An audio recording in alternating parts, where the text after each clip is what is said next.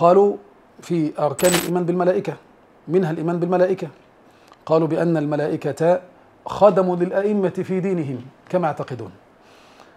قالوا بأن جبريل عليه السلام سأل الله أن يكون خادما للأئمة كما في بحار الأنوار. قالوا فجبريل منا أهل البيت وهو خادمنا.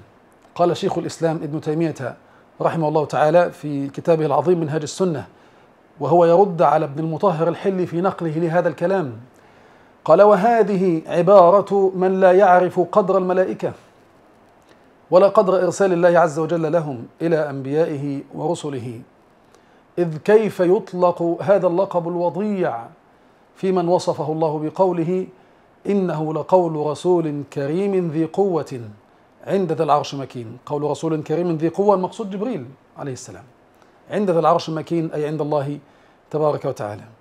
وتكلمت كذلك عن الإيمان بالكتب. فهم يعتقدون في دينهم أن الله تعالى أنزل كتبا من السماء نزلت بوحي مقدس من السماء على أئمتهم. هذه الكتب كما أنزل كتبه على بعض أنبيائه على أنبيائه ورسله. أنزل بعض الكتب على أئمتهم. أين نجد أثرها؟ كما يقول شيخ الإسلام لا نجد لها أثر. ويزعمون أن هناك نصوص أو بعض النصوص منقولة في كتبهم التي هي بين الناس هي بين أيدي الناس اليوم منقولة من هذه الكتب كما زعموا. كذلك تكلمنا عن الشهادة الثالثة وما يعتقدون فيها. الشهادة الثالثة أشهد أن عليا ولي الله. تقال في الأذان وبعد الصلاة ويلقنوها موتاهم عند السكرات في اللحظات الصعبة. يقولون يأتون إلى الميت وهو على فراش الموت ولا زال به حياة وبه نفس ويلقنوه الشهادة. يا فلان ابن فلان قل أشهد أن لا إله إلا الله وأن محمدا رسول الله وأن علي بن أبي طالب حجة الله على خلقه المعصوم وأن الأئمة من ولده المعصومون حجة الله على خلقه. وإذا ذهبوا به إلى قبره لقنوه أيضا الشهادة مرة أخرى بعد موته والإقرار بالأئمة جميعا يذكرونهم بأسمائهم. يستخلف عند رأسه أحب الناس إليه ويضع فمه عند رأسه بصوت مرتفع ويقول يا فلان ابن فلان اذكر ما خرجت عليه من الدنيا شهادة أن لا إله إلا الله وأن محمد رسول الله وأن علي بن أبي طالب أمير المؤمنين حجة الله على خلقه وأن الحسن والحسين والصادق والباقر والكاظم كلهم إلى المهدي المسردب هذا. كذلك طبعا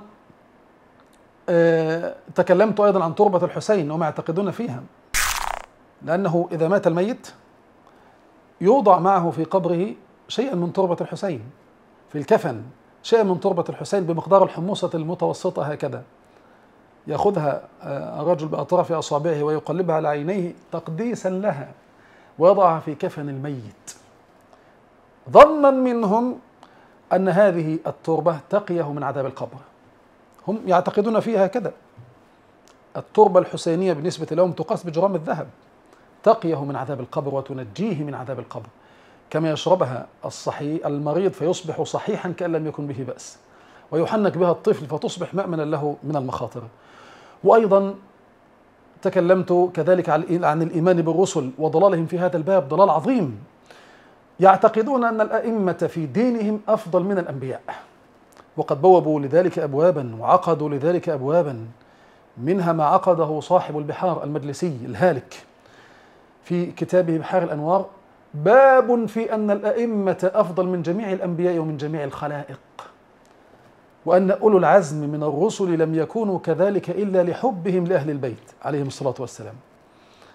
تعالى الله عما يقولون علوا كبيرا. وكذلك ألف شيخهم هاشم البحراني المتوفى سنة 1107 كتبا في هذا الشأن من جملة ما ألف هذا الزنديق قال كتاب كتاب تفضيل الأئمة على الأنبياء وكتاب تفضيل علي بن أبي طالب على أولي العزم من الرسل.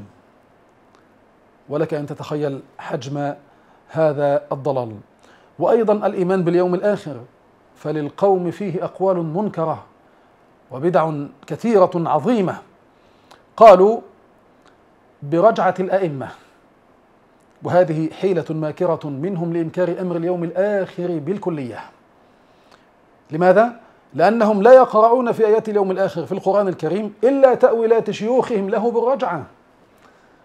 طبعا هذا فرع عن تصورهم في أمر الجنة والنار لأنهم يعتقدون أن الجنة بيد الأئمة.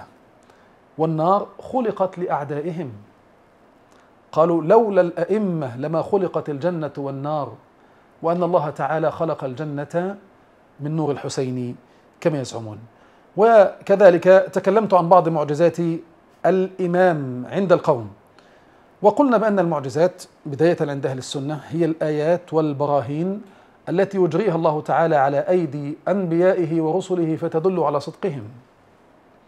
هي الآيات والبراهين التي يجريها الله تعالى على أيدي أنبيائه ورسله فتدل على صدقهم وهي كثيرة.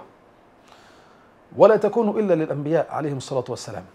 كمعجزة القرآن لنبينا عليه الصلاة والسلام معجزة شق البحر لموسى معجزة إحياء الموتى لعيسى وإبراء الأكمه والأبرص بإذن الله. المعجزات كثيرة جدا. لكن الشيعة ترى أن أو علامة الإمام عندهم صدور المعجزة منه. والشيعة ترى طبعا هناك فارق أولا بين المعجزات والكرامات. قلنا المعجزات لا تكون إلا للأنبياء ولا يأتي بها أحد إلا الأنبياء. لكن الكرامات تكون لكل أحد. رجل صالح له كرامة. جاء في صحيح البخاري بالمناسبة ما حدث مع عباد بن بشر وأسيد بن حضير. كان يمشيان في طريق واحد وكانت عصا عباد تضيء لهما الطريق. فلما أراد كل واحد منهم أن ينصرف إلى بيته أضاءت عصا كل واحد منهم طريق صاحبه. هذه كرامة ولا إشكال فيها أبدا. وتحدث ولا ولا ولا زالت تحدث في دنيا الناس اليوم. لا إشكال عندنا. لكن فارق بين المعجزات والكرامات. قلنا المعجزة لا تكون إلا للأنبياء بخلاف الكرامة.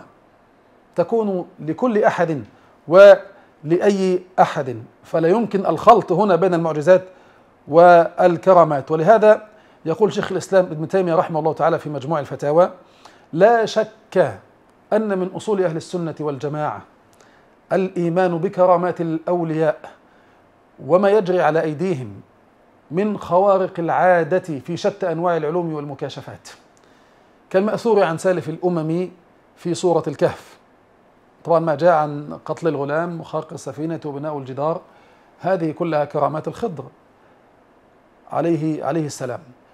كذلك أو التي حدثت للخضر عليه السلام. كذلك ما حدث في صدر هذه الأمة من الصحابة والتابعين ولا زال هذا الأمر موجودا في يوم الناس هذا. لكن كما قلت الشيعة ترى أنها معجزات لإثبات الإمامة وإقامة الحجة على الخلق. كما تقول رواياتهم بأن الأئمة هم الحجة على من دون السماء وفوق الأرض. ولذلك عقد المجلسي في كتاب البحار في الجزء التاسع والثلاثين تحديدا في الصفحة رقم 193 بابا كبيرا بعنوان باب في أنه عليه الصلاة عليه السلام قسيم الجنة والنار وجواز الصراط. لو يعرضها الشيخ أنس والإخوة. قال فيه عن جعفر بن محمد عن آبائه عن علي عليه السلام قال قال رسول الله صلى الله عليه وسلم إذا كان يوم القيامة يؤتى بك يا علي على عجلة من نور وعلى رأسك تاج له أربعة أركان. على كل ركن ثلاثة أسطر. طبعا مكتوب على هذه الأسطر لا إله إلا الله محمد رسول الله علي ولي الله. وتعطى مفاتيح الجنة ثم يوضع لك كرسي يعرف بكرسي الكرامة فتقعد عليه. خد بالك ثم يجمع لك الأولون والآخرون في صعيد واحد. فتأمر بشيعتك إلى الجنة وبأعدائك إلى النار. فأنت قسيم الجنة وأنت قسيم النار. ولقد فاز من تولاك وخسر من عاداك. فأنت في ذلك اليوم أمين الله وحجته الواضحة أو أمين الله وحجة الله الواضحة. ويقولون كذلك بأنه صاحب الجنة والنار. قالت أخبارهم إذا كان يوم القيامة وضع منبر يراه جميع الخلائق. يقف عليه رجل يقوم ملك عن يمينه وملك عن شماله. فينادي الذي عن يمينه يا معشر الخلائق هذا علي ابن أبي طالب صاحب الجنة يدخلها من يشاء. وينادي الذي عن يساره يا معشر الخلائق هذا علي بن أبي طالب صاحب النار يدخلها من يشاء. ولك أن تتخيل هذا الضلال فما تركوا لله إذن؟ وهذه هذه الكرامة أو المعجزة كما يقولون لم تحدث حتى لنبينا. أفضل من وطئت قدماه الثرى ولا لأحد من الأنبياء. منازعة لله في ملكه سبحانه وتعالى. بل وصلوا إلى القول بأنه ديان الناس يوم القيامة كما جاء في بحار الأنوار في الجزء التاسع والثلاثين في الصفحه 200 وفي بصائر الدرجات في الصفحه 122 تحديدا. قالوا عن المفضل ابن عمر الجعفي عن أبي عبد الله قال سمعته يقول إن أمير المؤمنين علي بن أبي طالب لديان الناس يوم القيامة. ثاني إن أمير المؤمنين علي بن أبي طالب لديان الناس يوم القيامة. الله أكبر. هذا فيديو أيضا يوضح هذه الحقيقة عند هؤلاء القوم. نستمع إليه ثم نعود. هذا شأنهم أهل البيت صلوات الله وسلامه عليهم عظمتهم الله عز وجل جعل لهم مكانة في القلوب. لكن بعض الناس سبحان الله ما أدري شنو مرضه يا أهل البيت. ما بال أقوام من أمتي إذا ذكر آل محمد اشمأزت نفوسهم. صلوا عليهم بأربع أصواتكم والله لا يدخل الجنة إلا من كان بيده صك من علي بن أبي طالب صلوات الله وسلامه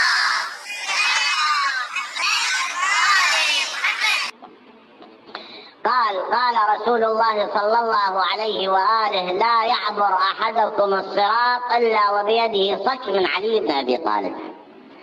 زين. فسأل واحد من علمائنا قالوا حتى رسول الله؟ قال لهم حتى رسول الله. دخل علي صلوات الله وسلامه عليه تأتيهم على جمع من الأنصار والمهاجرين وفيهم الخليفة الأول فنظر بوجه علي وتبسم قال له ما لك تبسمت يا أبا بكر؟ تضحك بوجهي يعني لازم اكو مناسبه أذكر قد حدث. قال والله لقد سمعت رسول الله صلى الله عليه وآله وسلم يقول إذا كان يوم القيامة ونصب الصراط لا يجوز أحدكم على الصراط إلا من كتب له علي بالجواز. آقا یا رسول الله به امام صادق هست کرد. این حدیث از شما که نقل می‌کنم. لا یعبر الصراط الا من کان بیده کن او برات من ید علی ابن ابی طالب. آقا روز قیامت هیچ از پل صراط رد نمیشه مگر در دستش کاغذی باشه یک چکی باشه که درش امضای امیر المؤمنین نوشته شده تازه ولیون این درسته فرمودم بله از ما از حتی الانبیا پیغمبرها هم آدم موسا عیسی هود صالح شیث همه این پیغمبرها اینا لازم دارن این. حضرت نگاهی کردن. فرمودن حتی خاتم الانبیا كما سمعنا.